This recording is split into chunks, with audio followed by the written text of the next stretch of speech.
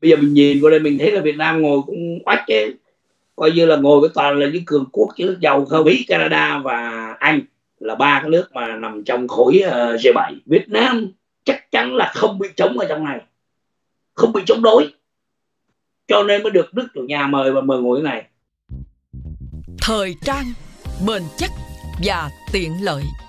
Đầu dũa nhỏ gọn nhẹ nhàng êm ái là máy dũa tốt nhất trên thị trường hiện nay Luraco Pro 35K vinh dự được giải Reader Choice Award do Nail Technician trên 50 tiểu bang Hoa Kỳ bình chọn. Quý vị đã có một kinh nghiệm vững vàng, một bàn tay khéo léo. Để có một bộ nail đẹp, hãy tìm mua cho được máy chữa nail thế hệ mới của Luraco. Ngày hôm nay thì Nửa Vòng Chết TV cũng đã phát cái video ngắn này mà chúng tôi có được. À, đây là hình ảnh à, có thể xem là rất quý khi mà lãnh đạo Việt Nam ông Phạm Minh Chính à, có thể gọi là thân mật à, hết nấc hay à, hay còn gọi là hết cỡ đó với ông tổng thống Joe Biden từ bên ngoài trước khi đi vào bên trong dự hội nghị và cả ngay trước khi ông Biden ngồi xuống à, dự hội nghị thì đây là hình ảnh một lần nữa xin mời quý vị cùng xem.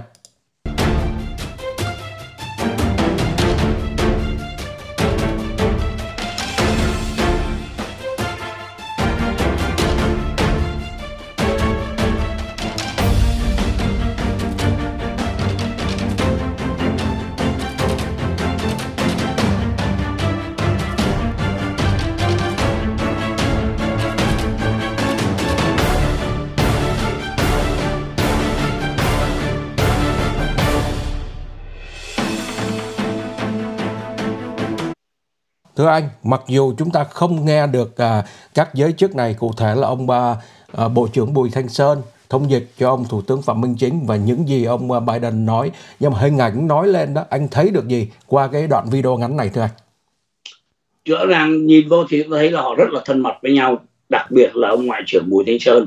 Ông nói chuyện rất là khí thế mà ông cầm cả hai cái tay ông để lên nữa. Đó và ông biết cái tính cách của ông Biden. Ông Biden nên thấy lúc ông nói xong ông còn đùa ông còn nhìn ra trước nữa. Cái kiểu cái, đó đó cái kiểu đùa giống như ông... kiểu mà nói một cái chuyện mà chỉ có chúng ta biết không cho ngoài biết đó, đúng không? Vâng. đó đó ông để cái tay vâng. ra ông nói giống như là gặp một người nào đó. Thì cái đó là cái lối nói cái chuyện của ông Biden là ông rất là thân thiện. Và bên Việt Nam chúng ta thấy cái thái độ của ông Bùi Thanh Sơn ta thấy rõ luôn là rất hài lòng với cái chuyện mà nói chuyện với ông Biden. Vâng, tôi chú ý nhất là khi ông Bùi Thanh Sơn thông dịch cho ông Biden rồi ông Biden vâng. trả lời ông chính này khúc này nè.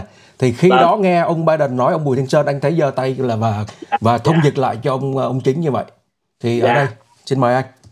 Và có cái đoạn lúc mà ông chính đi với ông Biden á, mà đi bộ đó thì có một thông dịch viên phía sau đây đây khúc này thì chúng ta chỉ nghe được cái chữ là trao đổi cấp cao nhất. Vâng, đó. Đó. Ta chỉ nghe được cái chữ đó cái người thông dịch đứng đằng sau nói nó nó lọt ra thì nghe được. Đó. Còn trước đó thì bởi vì nói vừa tiếng anh và tiếng việt nó nó nó trộn lẫn nhau ta không nghe đó nhưng mà đúng cái đó đúng với những gì báo chí trong nước đưa ra là hai bên trao đổi là tiếp tục uh, trao đổi các ờ, đoàn cấp cao mà và cấp cao nhất. Và cũng như là hai bên ờ, đặc biệt là theo như báo chí trong nước nói là ông Biden rất hài lòng về cái cuộc điện đàm giữa ông Biden với lại ông tổng bí thư Nguyễn Phú Trọng vào ngày 29 tháng 3 vừa qua. Thì nói chung là quan hệ Việt Mỹ thì cho giờ phút này thì tôi nghĩ là hai bên họ chỉ có nhắc lại và họ uh, chuẩn bị cho cái chuyến thăm uh, Hoa Kỳ vào tháng 7 này cũng chậm thôi và tới lúc đó chúng ta mới biết được chuyện gì là nó xảy ra đó là cái mà tôi nhận xét như vậy thưa anh và anh quan sát về cái khía cạnh mà truyền thông trong nước đó nói về cái nội dung ông ba ông chính gặp ông Biden như thế nào?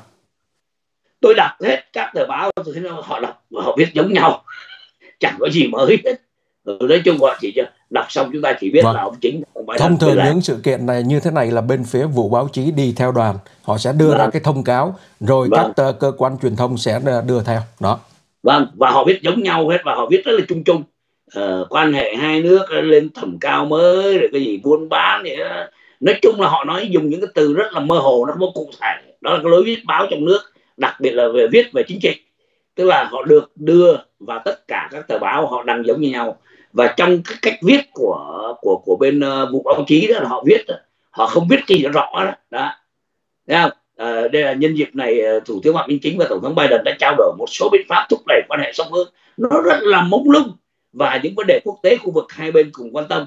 Hai bên cũng nhất trí trao đổi uh, các cấp nhất là cấp cao. Đó họ nói anh thấy không khi khi mà nghe cái câu cuối đó vâng, khi mà nghe đến cái chỗ mà trao đổi đoàn ở các cấp nhất là cấp cao đó thì người ta biết là cấp cao là phải là tứ trụ đi qua Mỹ hoặc là ông Biden đi Việt Nam đúng không đó ờ, cũng chưa chắc đấy anh nhất là cấp cao cấp cao là cao cỡ nào vâng xin mời anh nhưng mà tí nữa tôi sẽ có những thông tin bên lề xin mời anh đó. nói tiếp anh anh thấy không đây là ví dụ như là họ dùng cái câu này anh kéo xuống chút xíu để để để để, để cho coi đây để thúc đẩy quan hệ song phương. Một số biện pháp thúc đẩy, biện pháp thúc đẩy song phương là biện pháp gì?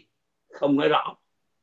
Và những vấn đề quốc tế và khu vực hai bên cùng quan tâm. Đó là những vấn đề gì? Cũng không nói rõ. Thấy không?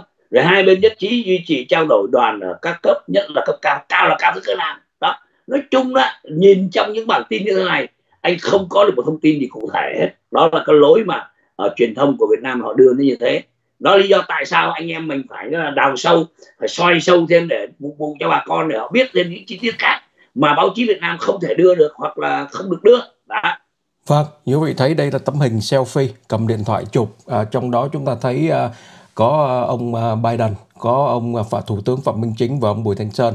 Người còn lại đó có lẽ là bên phía thông dịch à, đi theo đoàn, cũng là người Việt Nam. Vâng, vâng. Nhưng mà thưa anh, à, chúng ta sẽ chia sẻ thông tin này với khán giả. Trong cái video ngắn khi mà tôi à, đăng chiều nay đó thì chương trình cũng đã cho biết đây là lần thứ tư à, tổng thống Joe Biden cũng như là ông thủ tướng Phạm Minh Chính gặp mặt trực tiếp đó có nghĩa là mặt đối mặt bên ngoài. Lần thứ tư thì anh điểm lại à, những lần trước đó và lần này. Thưa anh bốn lần cụ thể như thế nào? À, lần đầu tiên là tháng 10 năm 2021 khi mà ông uh, chính dự hội nghị thượng đỉnh COP26 thì ông gặp ông Biden bên lề anh nhớ không? Có cái hình mà ông ông ông, ông, ông thông dịch viên đến nói gì với ông Biden? Biden vâng. đứng lên cái việc cũng là cũng có cái video thú vị đó. Đó. Đó đó, đó, lần đầu tiên. À, sau đó lần thứ nhì ông Biden gặp ông chính là tháng 10 à, tháng 5 năm 2022 tháng 5 2022 là ông chính gặp ông Biden ở trong tòa bạch ốc. Nhân dịp ông chính tham dự cái hội nghị thượng đỉnh Mỹ ASEAN mà lúc đó anh là cái người mà gọi là đi uh, đưa tin gọi là cực kỳ dày vâng. siêu dày đó à, nhớ không? Vâng đi toàn chuyến bốn tiểu bang đó. Vâng. Dạ tháng 5 năm 2022 thì đến đó là lần thứ nhì lần thứ ba đó là vào tháng 11 năm 2022 khi mà ông chính đi dự hội nghị thượng đỉnh uh, ASEAN thì có gặp ông Biden bên lề nữa. Và lúc đó ông chính có gửi lời mời của ông Nguyễn Phú Trọng vợ tới ông Biden. Và có hai bên có trao đổi và là đồng ý là sẽ có cuộc điện đàm cấp cao sau cái uh, hội nghị thượng đỉnh ASEAN đó anh nhớ không? Mà tháng 11 đến cuối tháng 3 thì cái cú điện đàm đó mới được thực hiện là ngày 29 tháng 3 vừa rồi. Đó tức là phải khoảng có 4 tháng sau. Đó. Thì đó là lần thứ ba ông chính gặp ông Biden ở tại Phnom Penh. Và đây là lần thứ tư đã gặp ở tại Hiroshima ở bên Nhật. Thì tính ra nó chỉ có tròn chèm chưa tới 2 năm anh có khoảng 19 tháng đúng không? Từ tháng 10 2021 đến 19 bây giờ. tháng.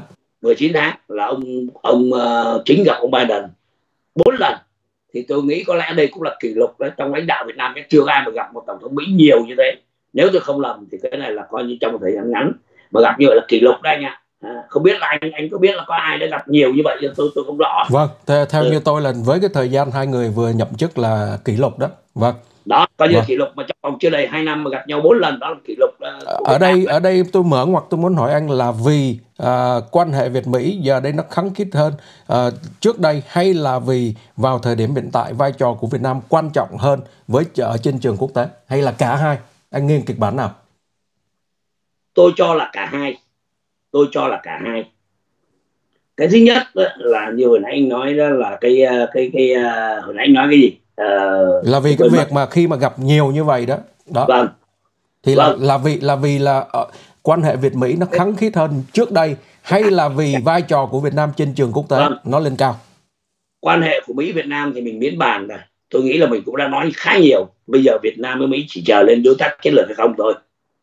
Và trong cái uh, thời gian qua anh thấy đó trong vài tháng qua một hơi sáu giới chức cao cấp của Mỹ sang thăm Việt Nam. Anh thấy không đi liên tục xuyên sạch và bắt đầu từ năm 95 tới giờ. Khi mà hai nước mở uh, tái lập quan hệ ngoại giao thì đặc biệt là sau kể từ 2016 sau cái chuyến thăm của Obama thì trong từ 2016 cho thực ra đó là bắt đầu từ 2015 sau cái chuyến mà ông Trọng sang tòa ốc đó, đó. Rồi đáp lễ lại ông Obama sang 2016 tôi lấy mốc từ 2015 đi. Tức là 20 năm sau khi hai bên từ hòa bình thường hóa quan hệ Việt Nam ờ, ngoại giao với nhau thì từ 2015 tới giờ nó là 8 năm, anh thấy không? 8 năm vừa qua là nó rất kháng khít trên mọi khuôn mặt, mọi ờ, phương diện. Từ ngoại giao, quốc phòng, kinh tế, giáo dục, nói chung là hợp tác người dân hai nước.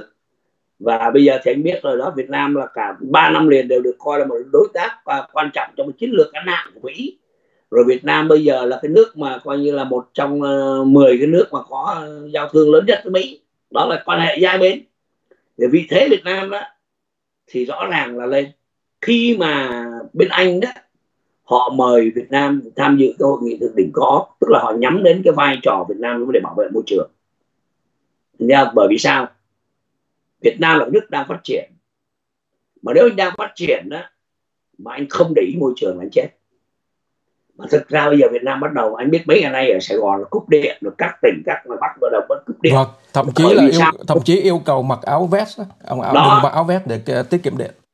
Bởi vì Việt Nam là có phong trào phá rừng. Quá trời tôi nói chỉ nói sơ anh một và hai cái chỗ bà nà hưu ở đà nẵng mà giao cho sân rút đâu giờ có như banh nè.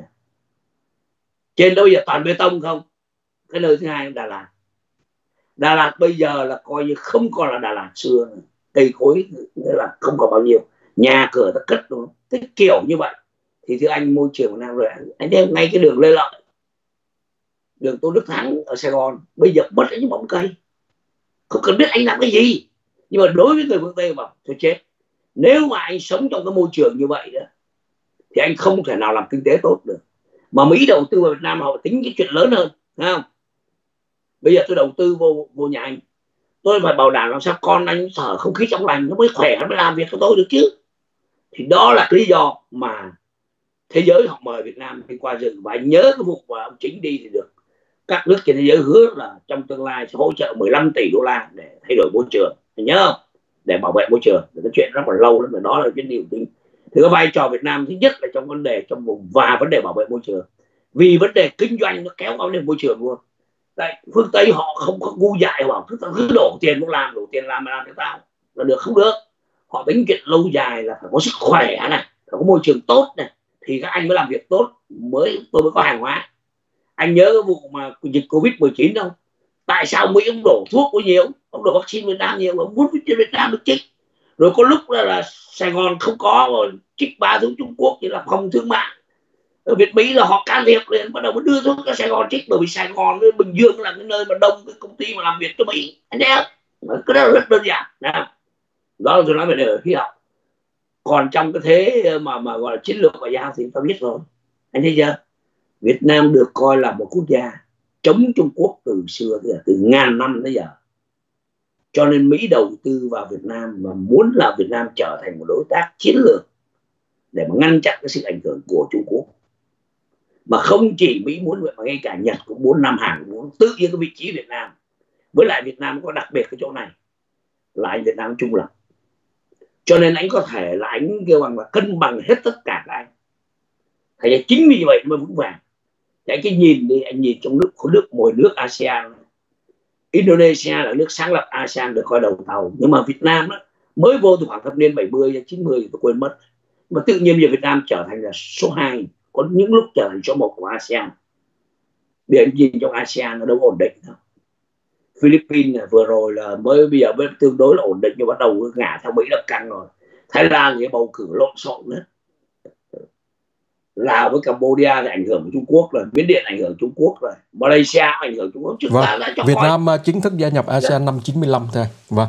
95 Đó. mà anh thấy ông anh thấy ta đưa coi cái bảng của Lowy Institute họ làm không? Việt Nam mà cân bằng được cả hai bên cùng với Thái Lan, Philippines và Malaysia anh thấy không? Không, uh, đúng là Malaysia, còn các nước khác là đều bị ảnh hưởng hết, bị ảnh hưởng Trung Quốc nhiều hết. Vâng. Đó. Thành ra người ta nhìn vào cái chỗ đó, cái vai trò Việt Nam nó quan trọng và nếu mà nhân cái chuyện C20 này C7 này nó kể luôn đây là thứ ba Việt Nam được mời đi dự C7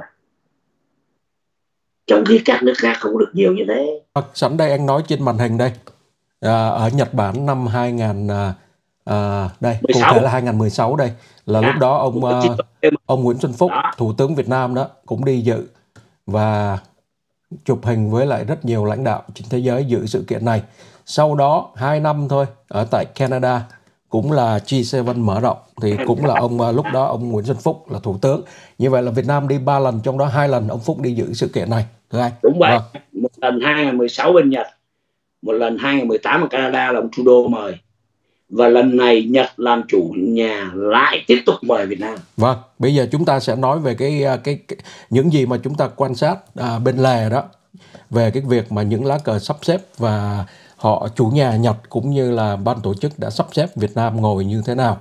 Thì à, đầu tiên anh à, quan tâm đến à, cờ trước hay là vị trí trước? Xin mời anh. Cờ nó ngồi nó cứ theo vị trí anh. cờ đi theo vị trí thì đó anh có cái hình uh, chụp đưa lên cho bà con mình coi là cái hình cái lá cờ nhật là chủ nhà đó. Ngay sau lưng bên trái của ông Kishida là cái lá cờ nhật. Kế đến là lá cờ uh, Comoros của một nước nhỏ ở châu Phi. Cái ông mà da đen đó đó. Rồi kế đến là tổng thống Biden của Mỹ. Rồi kế đến đó, đó là chúng ta thấy cái gọi là Cook Island. Cook Island là cái nước nhỏ ở tại uh, tại uh, cái gì? Tại um, Thái Bình Dương. Rồi kế nữa chúng ta thấy là Canada là ông Trudeau. Rồi sau Trudeau là tới Việt Nam là Phạm Minh Chính. Rồi kế đến là, là ông thủ tướng Anthony Albanese của Úc. Anh thấy nhìn theo lá cờ là họ ngồi đúng rồi rồi kế tiếp đó là lá cờ của anh là ông, ông thủ tướng Sunak và rồi cái lá cờ của Liên Âu là bà UN Deleyen tức là chủ tịch uh, vâng uh, ủy ban liên âu nhưng mà trong à, khi đó bên phía bên kia thì uh, sắp xếp như thế nào? Xin mời anh. Phía bên kia thì chúng ta thấy nhá là đầu tiên là lá cờ đỏ và vàng đó là của Indonesia. Xong rồi tới lá cờ của Pháp là ông, ông, ông uh, Emmanuel Macron. Rồi đến lá cờ của Nam Hàn là ông Jun ngồi. Rồi đến một cái lá cờ này là lá cờ Ý. Ồ, Ấn Độ Ấn Độ. Ấn Độ Ấn Độ vâng. Ấn Độ là Modi. Dạ dạ Modi Ấn Độ. Xong rồi tới cái lá cờ của uh, Đức và Ý Đức và Ý Đức và Ý. Dạ. Vâng. đó. Rồi mấy lá cờ kia là của Liên Âu và các tổ chức quốc tế. Liên Âu, dạ. vâng. có nghĩa là hai bên mỗi bên 8 nhưng mà anh thấy rõ ràng Nhật Bản dường như favor cho ông phái đoàn ông Phạm Minh Chính phái đoàn Việt Nam đây khi mà uh, cái cờ bên phía Nhật Bản là thấy rõ rồi nhưng mà sắp xếp Việt Nam chung với nào là Hoa Kỳ, Brazil, Canada và Anh. Thì anh nghĩ sao thế? Vâng, uh, tôi tôi uh, thì tôi không rõ lý do tại sao họ sắp xếp như vậy, mình không rõ nha mình không biết quy định của họ như nào đây là quyền quyết định của chủ nhà là ông Kishida nhưng bây giờ mình chỉ nhìn vào mình nhìn thực tế thôi thực tế thôi. Thì mình thấy là Việt Nam ngồi giữa hai ông là Canada và Úc à, ngồi giữa ông uh, thủ tướng Trudeau và ông thủ tướng Albany của Úc đó, ông Trudeau là của Canada. Và anh nhìn ông Phạm Minh Chính ngồi cách ông Trudeau là tới ông Biden. À không không ông uh, ông uh, ông Brazil chứ là tới ông Biden. Vâng. dạ ông Brazil ông ông Lula là tới ông Biden.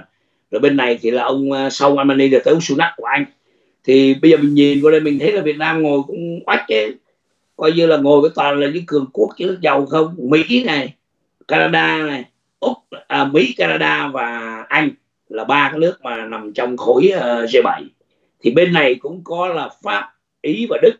Còn ông Kishida cũng là G7 thì ngồi giữa. Họ sắp rất khéo họ sắp rất là khéo. Nhưng mà nhưng mà ít nhiều bên phải có thể gọi là dày hơn hay không?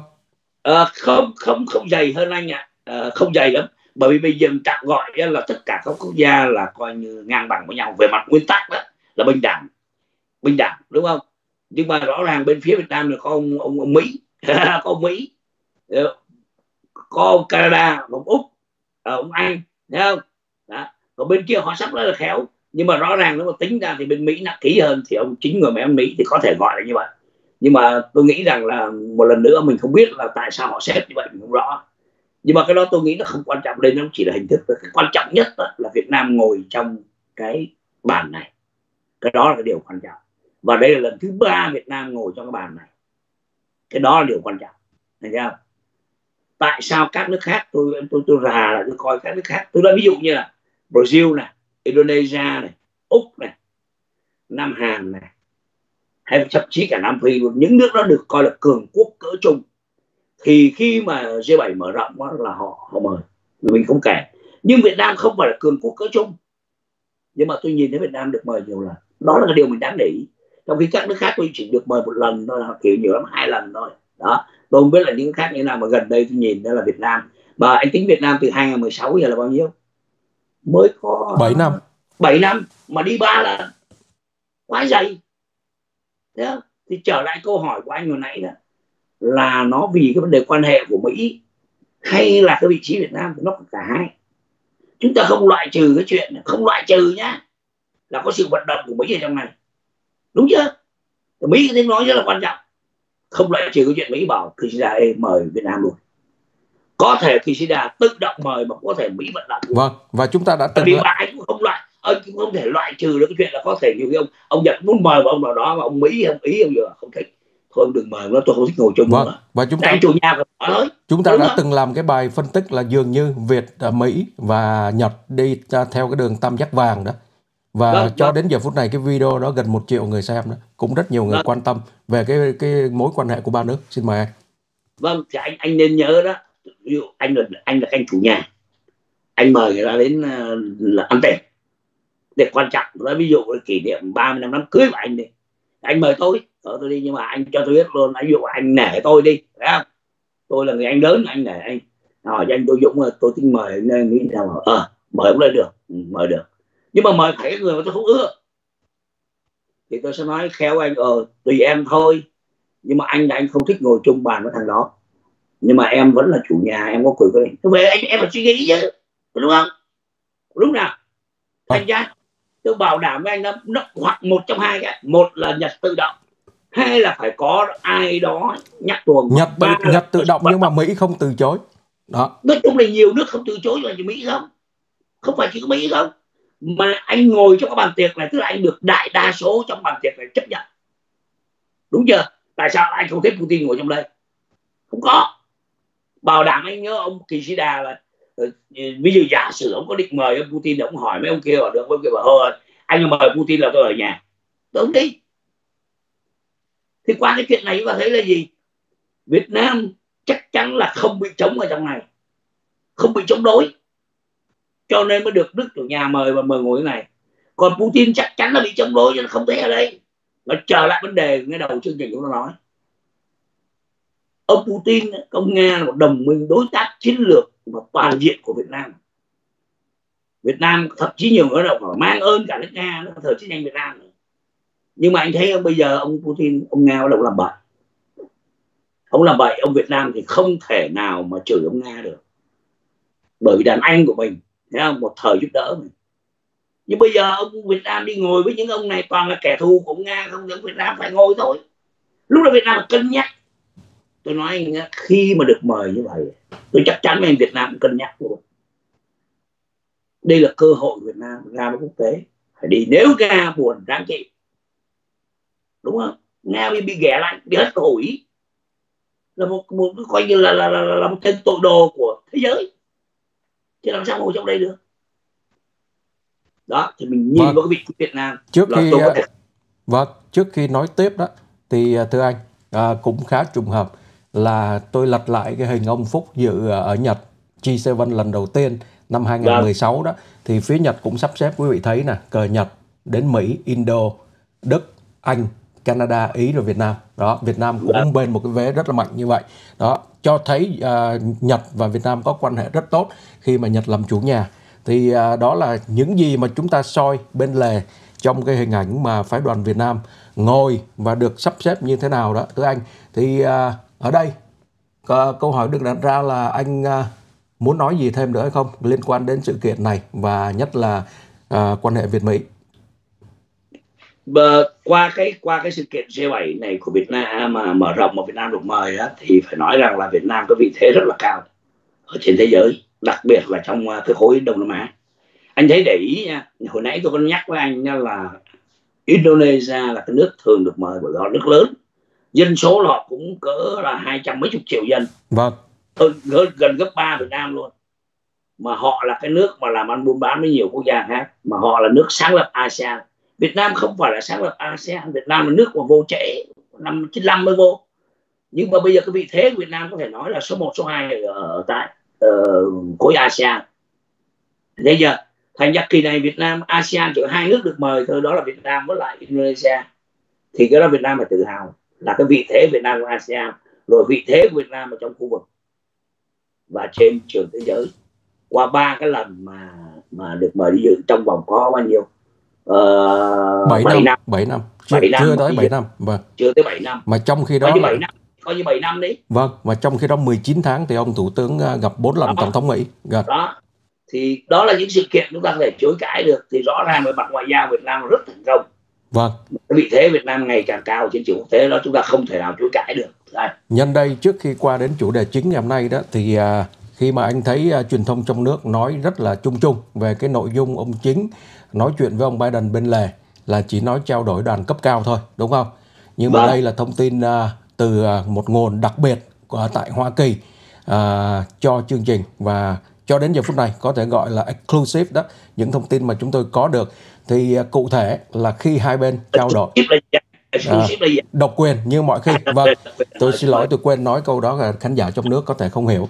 Vâng thì à, thông tin mà chúng tôi có được là khi ông chính trao đổi với ông Biden hai bên đã nhắc đến cái việc là đang xúc tiến cho chuyến thăm Hoa Kỳ của Tổng Bí thư Nguyễn Phú Trọng. Chuyến đi mà rất nhiều người Việt Nam trong và ngoài nước quan tâm và như tôi thường nói là nếu ông Trọng đi lần này là ông sẽ đi vào lịch sử của Đảng Cộng sản Việt Nam khi là Tổng Bí thư à, một trong à, bốn người tứ trụ đến Nhà Trắng thăm chính thức hai lần. Mà thậm chí nếu mà có cái việc là nâng cấp quan hệ đó thì chắc là trong tương lai sắp tới sẽ không có à, lãnh đạo tứ trụ nào có thể vượt qua được cái ngưỡng đó của ông à, Nguyễn Phú Trọng nếu ông đi vào lịch sử của Việt Nam như vậy. Bởi vì rất khó. Từ trước giờ chúng ta quan sát. Bây giờ chúng ta sẽ đi vào câu chuyện chính. Và, và, xin và mời nếu anh mà như vậy và nếu mà như vậy là ông cũng đi vào lịch sử là, là gặp tới ba tổng thống Mỹ. Anh công nhận không? ba ba nhưng mà là một lần ở Việt Nam đó Không, mấy lần không cần biết mà ba gặp ba tổng thống Mỹ tức là trước gặp ông Obama rồi gặp ông Trump rồi Vâng. đúng không? Mà kỳ này gặp Biden là ba tổng thống Mỹ khác nhau vâng chưa, đó chưa có nữa thì như tôi nói ra sẽ rất khó ai vượt qua được ông Trọng vâng Pringles giòn tan đến tận miếng cuối cùng với nhiều hương vị và kích cỡ khác nhau. Pringles hiện đang có bán tại các chợ và siêu thị trên khắp cả nước.